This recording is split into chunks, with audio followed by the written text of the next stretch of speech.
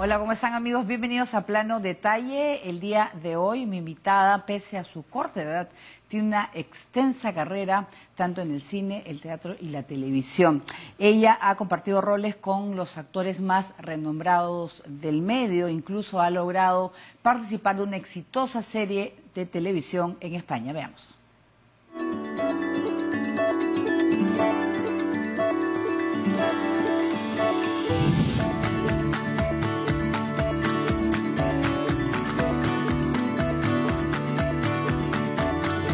Quiero quedar contigo. Que todo sea por el amor. Ay, si se pone al frente de mí lo cacheteo. Tonto fe y mantenido te invitan las mujeres. No me hace gracia todo lo que se viene. Estoy segura que es lo que me conviene. Este acuerdo estaba rodeado de gente. Yo me siento súper afortunada de que me a cantar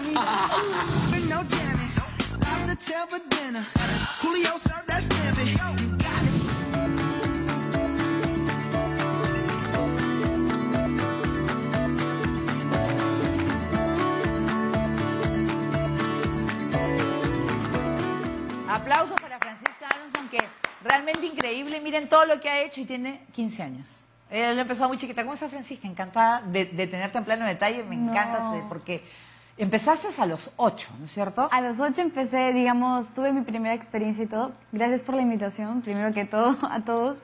Y bueno, empecé a prepararme en la actuación a los siete. A los ocho fue donde comenzó todo. Porque tú has vivido, eh, tu papá es sueco, tu mamá es peruana, y eh, han vivido en Suecia también. Hemos vivido en muchos países por el trabajo de mis papás, eh, principalmente. Cuando nací nos mudamos automáticamente a España. Cinco años ahí tuve mi, mi pues, guardería y todo el tema. Después nos fuimos a Suecia, yo por unos años, a Bolivia, viví en la selva, que eso fue increíble pobreza extrema, pero fue muy una experiencia que me, que me ayudó mucho también a ver toda la visión de toda la vida. Y después Perú. ¿Y cómo te diste cuenta que querías la, actuación o que te gustaba el... Eh, yo te he visto bailando, te he visto participando, de que decías, me gusta eso. Más allá de estudiar, ¿no? Claro, más allá de estudiar, eh, cuando yo me mudé a Bolivia, realmente lo único que yo veía era Mickey Mouse, o sea, no veía nada más, eh, no, no, no veía series ni películas, no era muy fan de ello.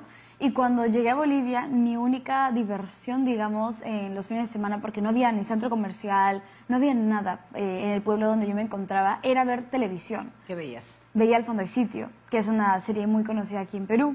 Y recuerdo que me enganché y era muy fan de la serie, de los actores, y le pregunté a mi mamá, mamá, ¿qué es esto? Son cámaras ocultas, ¿qué es esto? No entiendo nada. Mi mamá me explicó y dije, pues es algo muy interesante la actuación, y yo dije, capaz quiero ser actriz. Y le dije, mamá, quiero ser actriz. Tenía siete años. Tenía ahí seis años, siete años. ¿Tu mamá te acuerdas qué te dijo? Mi mamá me dijo, o sea, primero obviamente habrá pensado como será una cosa de ella de, de momento, pero luego me dijo, ya cuando nos movemos a Perú podemos ver las posibilidades. Pero ella tenía mucho miedo, porque yo pues era bebé, eh, tenía el colegio, bueno, tengo el colegio, pero es como que el miedo de los papás, ¿no? De, de que los niños pierdan el colegio, las tareas y se desconcentren, ¿no? Pero no fue así. Claro, y además ha sido, tú participas en el programa de Gisela Valcarzo, ¿no? Esa fue mi primera experiencia ahí. Ya, ahí sentiste que era lo tuyo, que era las cámaras no te daban miedo. Eh, no, nunca, nunca, me dieron miedo. Yo hablaba con toda la gente eh, desde que soy bebé, o sea, con es como para mí algo normal. Soy muy carismática. Tengo fotos cuando tenía 3, 4 años y estoy así. O sea, como que súper graciosa. Tú has nacido, como estábamos hablando de Shirley Temple, que desde muy chiquita le gustaba, y es la naturalidad. O sea, tú no sientes miedo ni vergüenza. No, nada, no siento miedo, vergüenza. Eso es algo que me gusta bastante. Soy bien expresiva, soy súper tranquila no, no me estreso. Obviamente cuando tengo que hacer castings y todo el tema, pues ahí eh, ya como es un trabajo para mí esto de la actuación, antes lo veía más como diversión, sí me lo tomo más serio y hay momentos donde me estreso, donde entro en nervios, bueno, es normal. Es, porque Me, es porque me importa. Dime, y Papito Piernas Largas es una obra en la cual te, exigió también el canto y el baile. Exacto. El eh, teatro es distinto. Eh, teatro es totalmente distinto. Digamos que esa fue mi primera obra musical, Ajá. donde tuve que bailar, cantar al mismo tiempo y pues fue un reto para mí porque era pequeña, pero también, como te digo, una diversión completa, con un montón de chicos adolescentes súper talentosos y eh, en sí el equipo fue muy bonito. Pero esa fue mi primera obra musical, pero para mí la más importante fue Billy Elliot, que eso Billy- fue en ah, claro. 2019 y 2018, donde bailé tap, bailé ballet, tenía que cantar, todo, literal. No, pero además que te das cuenta que te gusta a ti el, el Claro. teatro musical Sí. y que podía ser parte, además de la actuación que estás haciendo. ¿Es Margarita, crees tú que es la película que te hizo mucho más conocida? Que ahí le abrió, o sea, Sí. hizo pues que todo el país se conociera. Totalmente, totalmente. Cuando sale Margarita, eh, pues también una película muy especial para mí, la gente eh, agarró con mucho cariño la película y mucho, o sea, las, las salas estaban llenas. Entonces la gente cuando me veía en la calle solía decirme Margarita, o a veces también Cintia por la novela que hice, Me va la quinceañera, pero Margarita fue como un paso muy importante en mi carrera, ¿no? Pequeña, ya con dos películas protagónicos, entonces... Y con Giovanni, que es una maravilla, ¿no es cierto? Giovanni... Giovanni Sixia, que literal hasta ahora es como mi segundo papá, le, le tengo muchísimo cariño, es un actor que, que respeto, que, que admiro bastante, pero también que me enseñó bastantes cosas cuando grabé la película, ¿no? Fue un actor y una persona maravillosa. ¿Y tus papás a esas alturas de, de tu carrera, cuando ya habías hecho ya, series en la tele, Mm. estabas en el teatro, luego en el cine, ¿qué decían de ti? ¿Te decían adelante? ¿O tienes que estudiar otra cosa? ¿O tienes que seguir estudiando? ¿O, te- o eran más relajados? en- Yo creo que, eh, bueno, hasta ahora son bien relajados, porque mm, ellos, tienen, o sea, ellos confían mucho en mí y en mi hermano también, que también lo apoyan demasiado en lo que quiere hacer. Entonces, como yo tengo claras mis cosas, lo que quiero hacer, lo que quiero eh, dedicarme en la vida, ellos están ahí siempre para apoyarme. No, nunca me dicen, Fran, ¿y no te has replanteado capaz otra carrera o algo así? Porque al final yo creo que ellos están bien alegres, creo, no, sí están bien alegres de, de todo lo que estoy logrando a una corta edad, ¿no? O sea, trabajando a mi propio mérito, con el apoyo de mis papás, entonces ellos me apoyan y yo creo que siempre va a ser así. Pe- Pero en la familia no había nadie dedicado a la actuación, o sea, tú eres la primera. Sí, no, sí había, sí había Sí, sí. gente, no ¿Quién? mi mamá, no mi papá. Había un tío o tía. Hay un tío, hay una tía por parte de la familia de mi papá que es una actriz, que se llama Kristen Serratos. Ella, eh, bueno, tiene una larga trayectoria también desde pequeña, ha estado en Crepúsculo, en diferentes series Nickelodeon, en The Walking Dead y ahora último en Selena Quintanilla. Ah, bueno, entonces, eh, vi- viene de familia. yo creo que sí, porque también tengo otro tío por parte de mi papá. O sea, ahí hay bastante arte en la familia en Suecia. Pero me gusta mucho porque tus papás, igual yo he tenido hace poco un invitado del mago George, que, que sus papás lo apoyaron en la difícil carrera de ser mago y de Uh. ser actriz, que generalmente es nada, no importa, vas a actuar cuando estás, pero el colegio no me lo dejas. Claro. Nunca saliste mal en las clases, o sea, siempre tú responsable, porque es difícil, ¿ah? Es difícil, es difícil, pero yo creo que me gustaba tanto, y bueno, me gusta bastante la actuación, que el colegio era como, también es una forma de, de yo poder eh, poner en trabajo mi cerebro, ¿no? Para estar en constante movimiento. Siento que el colegio nunca fue como algo que me estresó y ni me sigue estresando, es algo tranquilo, la verdad lo llevo muy bien, separo mis horarios de, de las grabaciones con el colegio, pero también hubo un momento en donde yo decía como a veces sacaba malas notas y decía, no, me tengo que poner bien y tengo que concentrarme porque si no me voy a des- eh, desenfocar de, de los estudios, que es lo más importante. Claro, pero por ejemplo, tú te acuerdas haber estado, bueno, ibas a- al colegio Ajá. y de regreso a la casa a 3, 4 de la tarde. Y de ahí te ibas a grabar, que le- ¿hasta qué hora? Eh, bueno, solía ser desde las 7 de la mañana hasta la 1 de la tarde en mi primer colegio cuando empecé con la actuación y de ahí grababa hasta las 6, 7 de la noche, tareas, me ducho y duermo y así era mi, mi, digamos, mi rutina. Pero después a veces tenía que faltar días porque necesitaban grabar desde la mañana y ya no tenía que faltar pero me ponía al día. O ¿Eso sea, te ha permitido tener amigas en el colegio, tu, a tu, tu lado, tu Francisca eh, escolar? Sí, la- sí- sí lo mantienes, porque de repente no la puedes ver como, como quisieras, pero Eh, claro, contacto. Yo pienso que depende bastante, ¿no? porque mm, cuando era más pequeña, sí, yo no sigo manteniendo muchos amigos de cuando tenía 8, 9, 10 años. No, no, no tengo esos amigos ahora. sino tengo amigos a partir de los 11, 12 años, Ya. donde ahí era más consciente, pero también son como con los, o sea, con los dedos de la mano, no, no, no son muchos. Es un grupo cerrado y que yo sé que va a estar ahí siempre para apoyarme. ¿Te gusta a ti planificar el trabajo? ¿Eres de las que sabes si te gusta tener tu semana, ya, o lunes, martes, miércoles? O sea, ¿te parece que, que- que es bien a ti el orden en ese sentido? ¿Laboral o no? Eh, me gusta tener todo planificado, sí, porque si no me estreso y aparte no puedo hacer planes, porque así también como un adolescente, y tú debes saber porque también tienes tu Mi hijo. hijo tiene 13, así que más o menos ya, ya sé cómo va la cosa. Y Sí, o sea, nos gusta salir, nos gusta tener tiempo también para nosotros, Claro. divertirnos. Somos adolescentes y pues obviamente no queremos estar metidos 100% en los estudios y también en el trabajo, en mi caso, como la actuación, ¿no?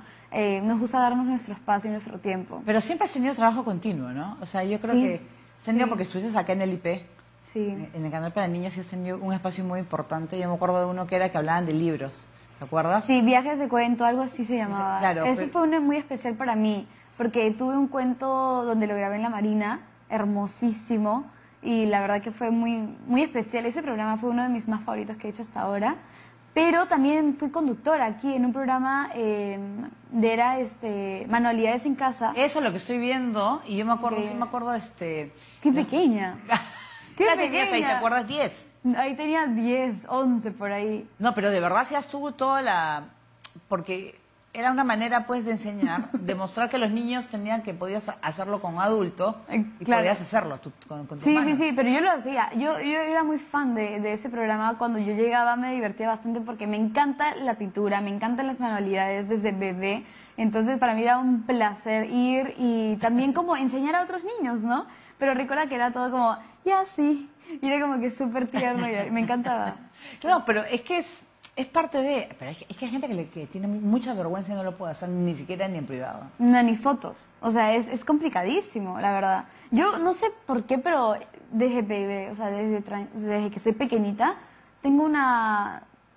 Es como, siempre tenido una barrera a la vergüenza y todo ese tema que a muchos niños y amigos que tengo les afecta demasiado. No les gusta ni tomarse fotos. Pero es que es porque tú crees que pueden- puede haber un rechazo o una crítica, pero tú lo tienes muy... Yo, me parece que es cuestión de autoestima y seguridad, ¿no? Sí, también puede ser totalmente. Yo pienso que hay muchos factores, ¿no? Igual tampoco digo de que yo sea perfecta y de que hay días donde me, o sea, hay días donde yo me, me siento también insegura eh, y paso por este eh, momento de, de no me quiero tomar fotos, no me quiero hacer videos o, o quiero estar simplemente conmigo. Es normal. Es normal, es normal, pero hay muchos factores por los cuales tú tienes vergüenza y, y no te gustaría estar al frente de las cámaras. Muy bien, Francisca, vamos a hacer una pequeña pausa, amigos, no se muevan, que regresamos con más en plano detalle.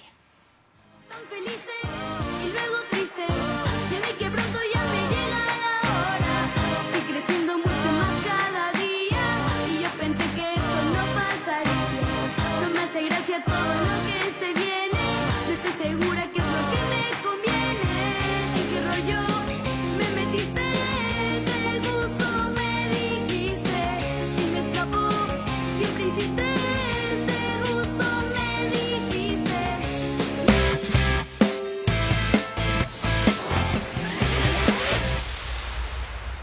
seguimos con nuestra invitada en pleno detalle, Francisca Aronson.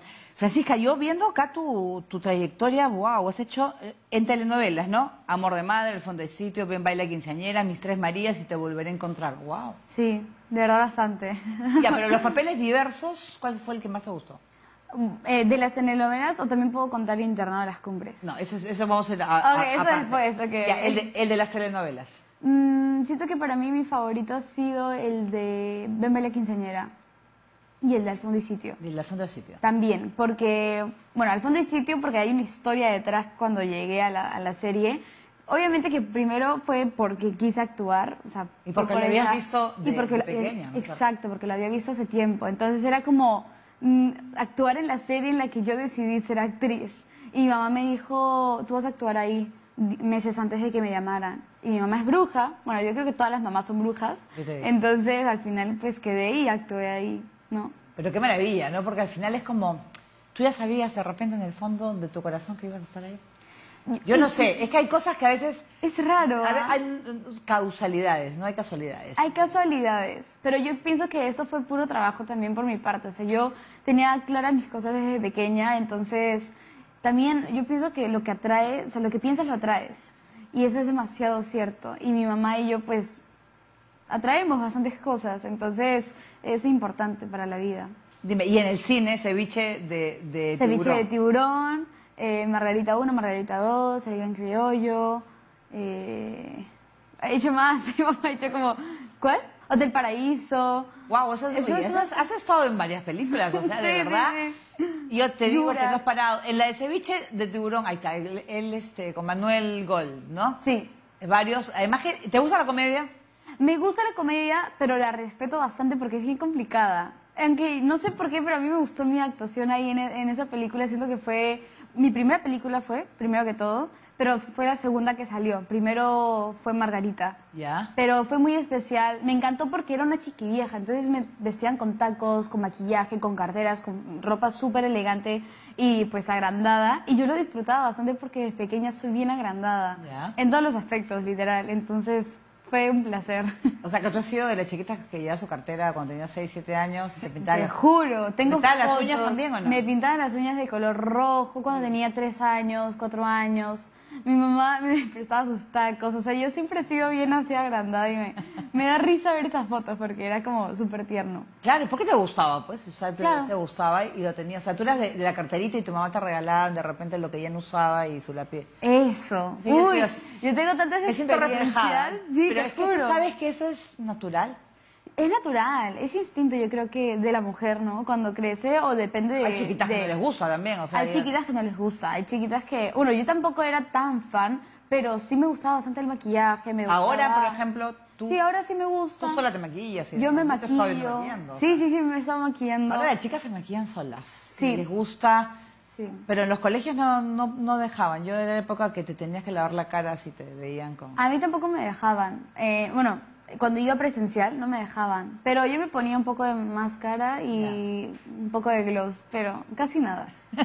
Cuéntanos sobre esta serie española, que es Internado Las Cumbres, Sí. que es un... eh, continuación, Remake. se podría decir un remake, Un de- remake. De, la serie que también era eh, El Internado, pero Laguna era Negra. Laguna Negra, que se vio, estuvo en Netflix una temporada y se veía en Antena 3 con grandes actores eran jóvenes en esa época y ahora están triunfando en, muchos aspectos. Sí. Era la responsabilidad. ¿Qué tal esa, esa experiencia de, de- de trabajar fuera en España? Yo creo que fue maravillosa. Eh, primero porque mi primer proyecto internacional fue un proceso largo para el casting. No fue un personaje cualquiera. No era protagonista de la serie, pero fue un personaje secundario. Pero siento que, o sea, yo, eh, por las críticas de, a la serie, que fueron bastante buenas, rescataba mucho mi personaje. Y eso me, me- de verdad me hizo sentir muy feliz de que mi trabajo en la serie a la gente le haya gustado eh, y le haya realmente como conectado con el personaje. Y gracias a ese personaje me nominaron en los Key Choice Awards de México, que fue, bueno, son unos premios muy importantes en toda Latinoamérica. Y pues estar nominada ahí por mi trabajo y mi primer proyecto internacional fue maravilloso también. Además de lo de para que te, te escojan, entonces estuviste de viaje en España y fue casual, ¿no es cierto? Sí, fue casual. Fui de vacaciones realmente con mi mamá, porque mi mamá tenía que hacer un proyecto ahí en España eh, de su trabajo de cooperación y me dijo, Francisca, te llevo, vamos. Y nos tomamos vacaciones y después todo surgió, conocí a gente, fui cuatro veces ida y vuelta de Perú a España para el casting. O sea, fue una inversión también por parte de mi familia tener que postular al proyecto, pero al final valió la pena, quedé y cuando vi el cast también estaba súper emocionada, ¿no? Mina Jamani, Ramiro Blas, Sacia Ortega, Albert Salazar, Daniela Rubio, o sea, un montón. Claro, y además estábamos comentando que tú tuviste, eh, tu, tu personaje no era latinoamericano, No. era español. Era una chica Era española. una chica española. De un internado. Ya, y tenías que hablar como española. Y tenía que hablar como española. Y para eso también fue todo un reto porque había dejado de, de usar mucho el, el acento español en mi, en mi día a día. Porque yo había vivido en España, sabía la fonética, pero no la había tenido en práctica los últimos años. Ya, tú eras, era, bueno, la, la historia, para los que no vieron el internado de la, la anterior serie, un, se puede decir, este, un internado de, de chicos, de clase alta, de pijos, se podría decir, Sí. en España, y que rebeldes, pero que tienen que, estás un- hay misterio Sí. en la serie, hay... eh, Es un thriller. es un así. thriller, o sea, no es un internado maravilloso, es un internado lleno de problemas. ¿Tu personaje cuál era? Mi personaje se llamaba Rita. Rita. Rita. ¿Y qué problema tenía Rita? Bueno, Rita... Lo que en- puedas contar, ¿ah? Sí, sí, sí, sí lo puedo contar, pero eh, claro, esto es algo que no se sale en la serie, sino es como eh, la guionista nos cuenta en una reunión el pasado del personaje.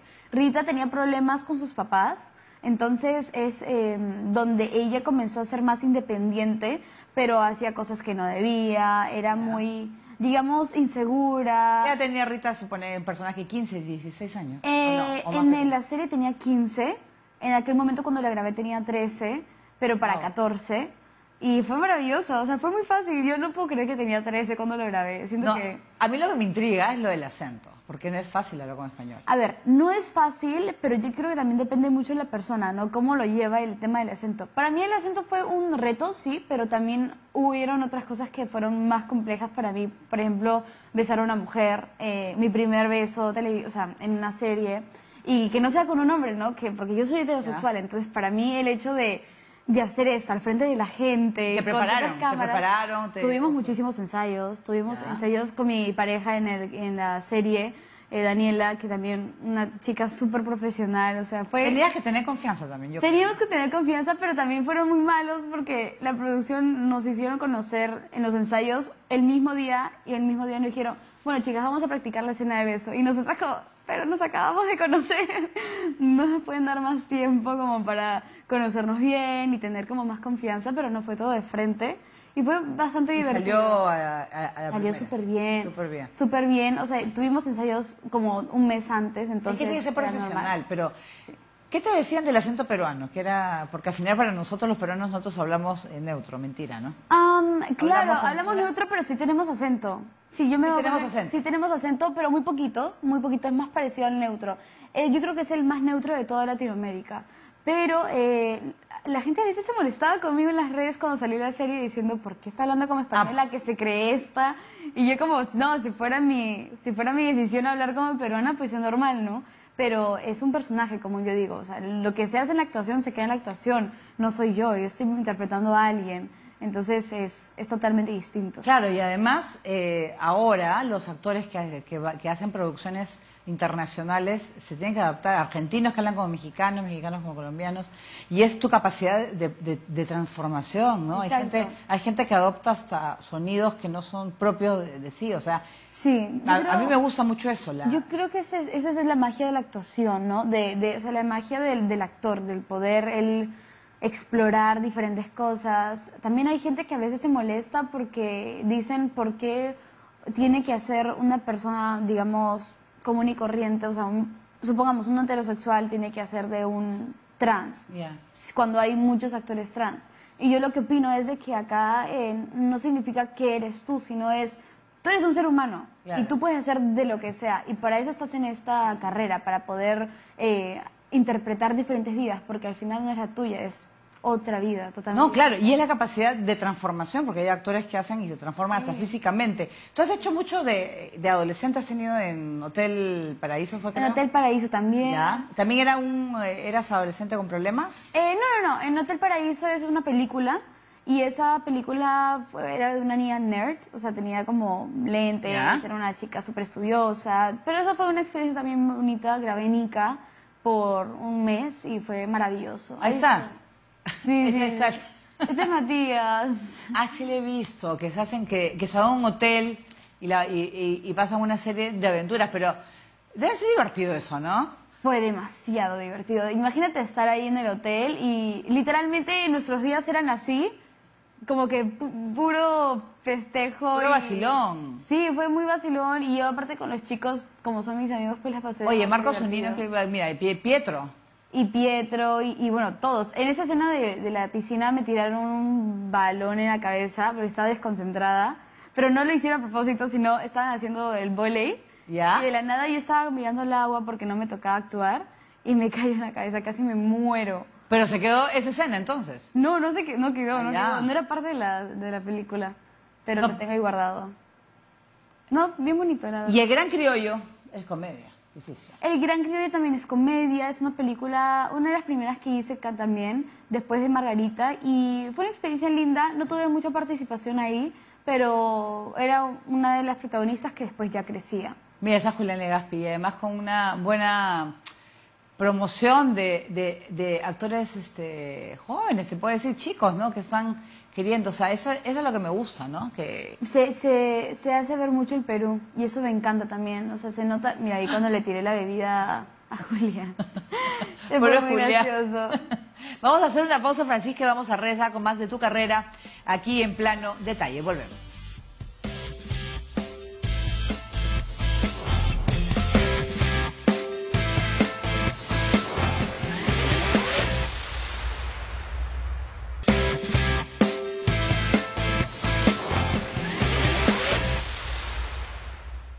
Bien, seguimos en plano detalle con nuestra invitada Francisca A- Aronzón, que además de la actuación tienes, eres muy activa en redes sociales. Sí. ¿Te gusta? Lo haces en. Instagram. En Instagram, en YouTube, en, bueno, publico la entrevista en todas las redes. Eh, siento que eso fue, bueno, eso surgió por la pandemia, porque literalmente el mundo estaba paralizado, las redes también estaban paralizadas, la gente no sabía qué hacer, estaban aburridos en casa. Yo dije, me voy a poner a entrevistar a, a mis amigos. y comencé a entrevistar a Vanessa Saba, Giovanni Sixia, y poco a poco me fueron viendo pues gente de, de pues otros eh, espacios. rubros, claro. De otros rubros como la música y así. Y comencé a entrevistar a cantantes, Tini, eh, Guaina, Cami, o sea, A un Camilo montón-. A Camilo. Bueno, a Camilo ya lo entrevisté antes, hace tiempo. A, a Tini Stossel. me- A Tini Stossel. Y después a actores ya de Netflix y de Hollywood, la verdad, fue maravilloso. ¿A, a quiénes has entrevistado en Facebook? Edgar Ramírez, he entrevistado también a Lana Condor, a Joey King, que son actores pues, bien conocidos ahora, Jacob Elordi de Euphoria, que bueno, en aquel entonces estaba con la película de Kissing Both 3. Lo haces en inglés y lo traduces.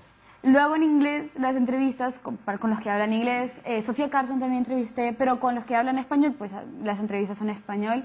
Es depende de cómo el equipo del artista quiere que sea la entrevista. Yo tampoco tengo mucho Pero tú lo haces ahí. sola. A ver, cuéntame el, lo El de- proceso. El proceso. O sea, es- eres, ¿tienes un equipo de producción ya? Sí, claro, tengo un equipo, tengo un equipo, yo me junto con mi equipo para ver como el tema de que vamos a tocar en la entrevista. Ah, bien. Vamos haciendo preguntas, intercambiamos ideas, después también agarro, pues, mi- cuando me toca ya la, la entrevista, mi héroe de luz, eh, mi trípode. Ya tienes un micrófono, tu buen micrófono. Todo, todo, tengo todo, tengo todo, me maquillo, o sea, es, es una producción, la verdad. es- Por supuesto, no es fácil. No es Pero hay mucha gente que lo hace, que eh, empezó de manera instintiva, fue probando, y a veces hay grabación, las primeras grabaciones en época de cuarentena, hay mucha gente que fallaba, le fallaba, se le a internet, lo que sea. Pero te das cuenta que poco a poco va mejorando y eso es un espacio súper creativo e importante y no dependes de los medios ni de nadie. No depende Eres de nadie, exacto. eh, Soy yo y al final y al cabo también pues hacer un buen trabajo para también la- la- los actores porque así como también a mí me entrevistan, yo quiero también hacer pasar un buen momento para los otros actores y actrices. Recuerdo que también hice para un proyecto de Michelle Obama que hizo un proyecto, su primera serie y entrevisté también a los actores, o sea, he hecho cosas bien interesantes y que me siento bien alegre de, obviamente en la entrevista no se me ve, pero yo estoy nerviosísima por dentro, o sea, yo estoy, eso es como que estoy más nerviosa haciendo entrevistas que actuando. ¿Por qué? Porque quiero hacer que sea un momento agradable para el actor o el, o el artista, es como, no me puedo equivocar, no me puedo equivocar. O tienes miedo a la reacción, porque a veces, hay- te lo digo, a veces hay personas que le preguntas, yo que vivo de esto, de preguntar, hay gente que no le gusta ciertas cosas. Es que es así. Yo también, o sea, depende mucho de los actores, ¿no? Por ejemplo, yo cuando entrevisté a Joy King, que es una actriz de Hollywood súper famosa, eh, ella sí como que era súper amable y yo Ya me sorprendí, yo me sorprendí. Cuando entrevisté a Jacob Elordi era súper seco y súper serio. ¿En serio? Y yo era como, No, que te dicen, ah, ah, sí. exacto. Y yo le decía, ¿y cómo fue tu experiencia en la película tal? Fue bien. Así me responde yo, me quedaba como corta, pero después yo soy muy inteligente. No me lanzo flores, sino yo sé que No es porque lo diga yo, pero... Pero yo sabía manejar la entrevista y hasta que lo hice reír. Es y que es eso, es eso. O sea, Claro. es, yo creo que es el, el tema de la conversación tiene que ser que la persona se sienta cómoda. cómoda, con O confianza. sea, no es un interrogatorio de la policía. No, es, no, no, Es no. una, es una, y más o menos tú te das cuenta por dónde va la, la, la conversación. El manejo de redes es difícil. Porque tú tienes un millón y medio, ¿no? Un millón De- y de medio, seguidores. sí. Hay palabras bonitas y también Como feas. feas, hay hate y hay mucho amor también. Pero te dicen, o sea, ¿has, has sentido que en un momento por algunos puntos me decías que porque hablabas como española en la serie te criticaban, pero la gente, bueno, Sí, critica porque le encanta criticar. Pero yo creo que la gente critica porque están hartos de su vida o están cansados. Es, es un tema muy delicado también el tema del hate. O sea, en ¿Tú respondes? caso, ¿Tú respondes? eh, yo antes respondía, pero ahora te juro que me resbala. O sea, yo ni le trato de dar importancia porque tampoco me importa. Es, es al final gente que, que no sabe qué hacer con su tiempo y al final a mí no me, no me afectan los comentarios. No bloqueas.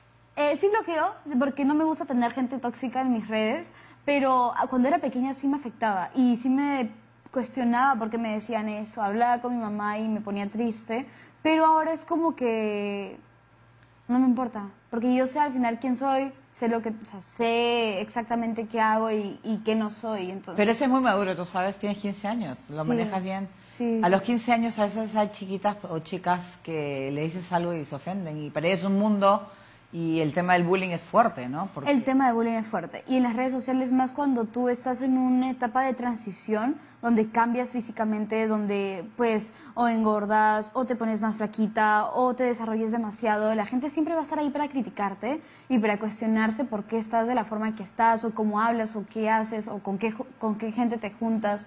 Es muy complejo, pero también como te digo, lo viví desde muy bebé, entonces lo aprendí y lo su- supe cómo manejar el tema, pero ahora eh, para mí es normal eso. ahora tú estás de embajadora de UNICEF, ¿no? Ahora Ayudas con los mensajes para, Sí. para los jóvenes. ¿no? Uso mis redes sociales como una ventana para los jóvenes, para los adolescentes, para hablar de temas que nos afectan en la sociedad, como el bullying, como las clases virtuales, porque también sabemos que cuando empezó las clases virtuales no todos tenían acceso al Internet y eso fue también una barrera para la educación y donde muchos adolescentes se retrasaron en, en el tema de los estudios y todo el tema. Entonces, Yo creo que lo, de la cuarentena fue difícil porque además que se quedaron en casa y tuvieron que algunos hablar con los padres que de repente ni hablaban. fue complicado. Eh, aisló a mucha gente también. Hay, hay muchos, este, por ejemplo, mi hijo después de dos años se ve con los amigos. Sí. Y hay gente que se sentirá rara, porque una cosa es ver a tu amigo, de, el mío, por ejemplo, de, on- de 10, 11, ahora de 13, que todos han cambiado, físicamente y, a- y por dentro también. eh, todo psicológicamente, la forma en cómo hablas, la forma en cómo piensas. Yo siento que es una etapa muy importante para nosotros los adolescentes, este momento de regreso a clases, eh, pero ellos, eh, bueno, es, es, es complejo también, es muy complejo, es, hay mucha ansiedad, se ha provocado mucha ansiedad, muchos ataques de pánico, problemas eh, también de salud mental Es que muchos han pasado. Yo también, o sea, es un tema de, de todos, de los adolescentes y que ahora es como regresar a esa vida normal que teníamos, pero con algunas ya precauciones como la mascarilla y todo el tema. Dime, ¿tu carrera como cantante la quieres eh, ¿La quiero seguir? Sí, ¿Te, claro te- que te sí. gustaría también, eh, pero no, no teatro musical, te digo carrera como solista, sí. sí, te gustaría? Sí, yo saqué una canción hace en 2019, mi primera canción que se llama Te Gusto, súper romántica, súper fresa, que ahora la miro y es como, ay, por Dios. Pero te gusta así baladas, tipo... eh, Me gusta pop. hacer baladas, pop. Yo creo que yo estoy abierta a todo. Me gusta también mucho el reggaetón, pero Ya. no el tipo de reggaetón súper eh, sucio ni nada así por el Esa es, estilo. esa te gusto, esa es a la... Claro, te gusto, esa fue, pero no haría algo así nuevamente. Haría algo más serio, creo. Porque Pero- era una niña y, o sea, pero- sí es una niña, pero... ¿Te gustaría tipo así, por ejemplo, tipo Tini? Me gusta mucho Tini, la tengo bastante como referencia a Lola Índigo, a María Becerra. Me gusta, me gustan esos cantantes. Y Miley, ¿te gusta? Miley Cyrus. Me gusta, pero siento que eso, ella es más como rock. Entonces, me gusta su vibe, pero no es tanto lo que yo me dirigiría. Tini es una como clara referencia de lo que me gusta hacer en música. Claro, pero estás ahora, eh, ahora que se están retomando, de repente, no sé, también escribir, involucrarte un poquito o eso ya lo ves. es bueno, es que cada persona con lo suyo. A mí yo tengo Sí. mucho respeto a las canciones, Mm, a la también. inspiración, cómo las hacen. ¿no? Yo respeto mucho la, el mundo de la música porque es más complejo que la actuación, siento yo. Que eres tú mismo el producto. Es tu producción, es tú mismo. Pero tú te preparas, o sea, estás Claro, estás con canto de, vocal. Sí, sí, sí. Igual eh, hacer canciones es complejo. O sea, hacer tus letras y todo el tema es, es un trabajo muy fuerte. Sí lo he hecho. Para esta voy a sacar pronto una canción probablemente. Entonces sí lo he hecho, y pero ha, sido, ha tomado tiempo. capaz sigo haciendo eso de, de composición, pero me gusta más cantar y interpretar. No, y además el, pero todo el proceso para poder cantar y todo el trabajo que tienen que hacer en el Sí. estudio. Es un trabajo increíble. Además que tiene que ver en- en- tú en sintonía con tus músicos, porque Sí. si tienes que presentarte en vivo, tiene que ser bien, o sea, no puede fallar Sí, nada. No puede fallar nada. Ya, ya lo he hecho, ya lo he hecho en vivo y fue fue una experiencia. Eso, bueno, eso, eso fue en vivo. eso fue un playback que hice de. Bueno, pero ahí te veo de que pareces de- Selena Quintanilla, es que sí. Claro, no, yo claro, pero te veo, pareces de 18. ¿No? Súper mayor, ¿no? Sí, sí, sí. Pero es claro, porque estoy interpretando un personaje que no sé. Ahí está, Selena te Me encanta Selena. Yo ay, la amo, literal. Es una de mis cantantes favoritas. Es que se quedó, pues, ¿no? Y lamentablemente con su trabajo en inglés, que lo estaba haciendo y ella quería brillar. Sí. ¿Tú sabes también cantar en inglés? Me gustaría cantar en inglés.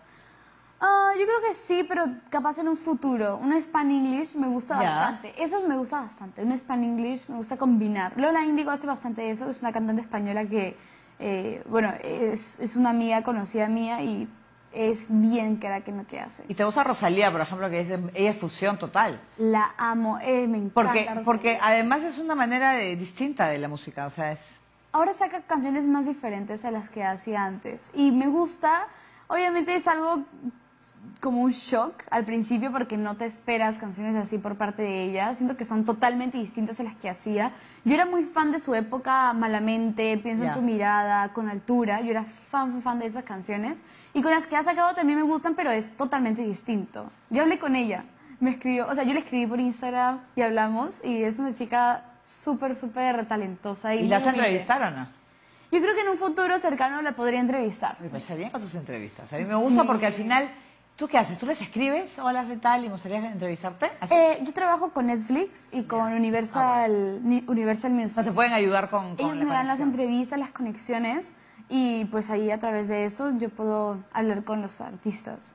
Ay, Pero es, eso es increíble porque también ellos me conocen a mí y es como un networking interesante. Dime, ¿y te ves haciendo más cosas afuera? Internacionalizarse. Sí, totalmente. Haciendo, por ejemplo, para Netflix producciones en los cuales no importa de dónde vengas, así como pasó con las cumbres. O sea, puedes tú trabajar Donde sea. Colombia, México. Donde sea realmente. Yo estoy abierta a todo. Eh, me gustaría también actuar en un futuro en Estados Unidos, pero ahí también tengo que perfeccionar mucho más mi inglés. O sea, yo tengo un inglés bastante avanzado, un, es un intermedio avanzado, pero eh, me gustaría España mucho porque hacen cosas bien interesantes y también Latinoamérica. O sea, yo estoy abierta a todo, a lo que venga.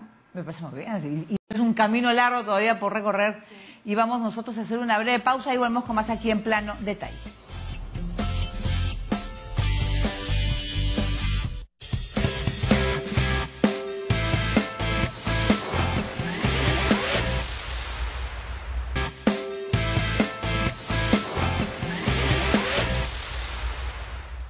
Muy bien, seguimos con nuestra invitada Francisca Aronson. ¿Te gusta la moda? Me Una gusta línea, bastante. una línea de ropa, los backs. Sí, Esta me encanta. Haces todo. que de verdad te felicito, me encanta. Es que me gusta, porque si no, no lo haría. O ¿Por qué sea, te gusta la moda? ¿Qué te gusta de la moda? ¿El me- diseño? Me, gusta vestir bien, me gusta estar elegante. Yo, la verdad, yo siento que soy muy graciosa en ese aspecto. Me gusta vestirme bien, pero claro, a veces hay días donde salgo en pijama ah, porque me da flojera vestirme. Ya. Esa es Isabela Sierra, es una actriz colombiana que está en La Reina del Sur, amiga mía, ¿Pero te gustan son vestidos? eh, ¿Tú haces de vestidos? quinceañera. Dijiste.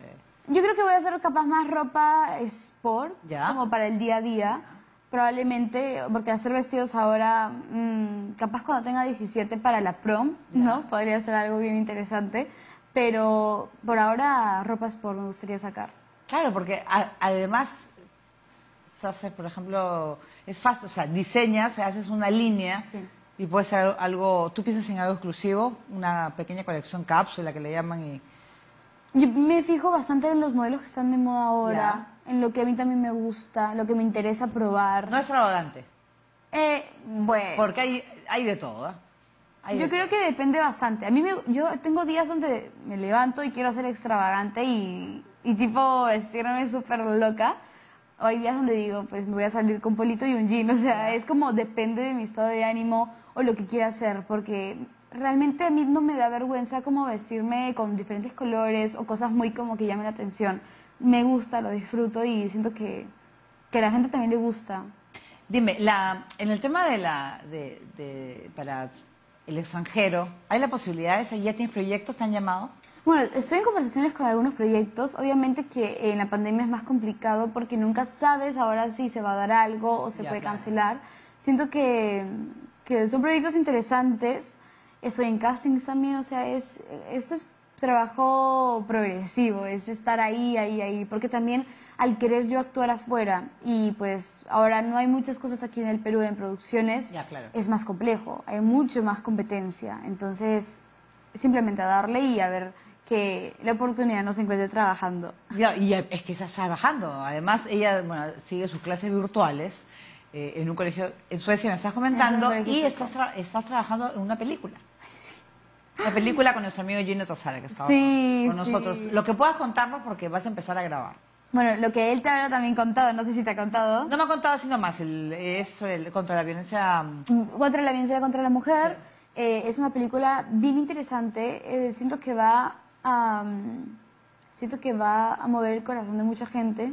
Uy, esa frase no le decía hace años cuando yo decía esa frase de Margarita, pero es una película que va a hacer reflexionar a la gente cuando la vaya a ver. Eh, es un tema muy delicado, muy importante que se vive día a día en todo el mundo Sí. y en el Perú también. Hay mucha violencia contra la mujer y eso es bien, bien delicado. Pero me siento feliz de poder tener la oportunidad de poder expresar y ser la voz de muchas niñas y mujeres que han pasado por esto. Claro, los feminicidios en los cuales se dan los casos, lamentablemente, no, la- las cifras suben, se mantienen, no baja. No baja. ¿no? Es porque eh, no solamente en relaciones de pareja, es Son problemas total, mentales y también. problemas mentales y la salud mental que no se trata.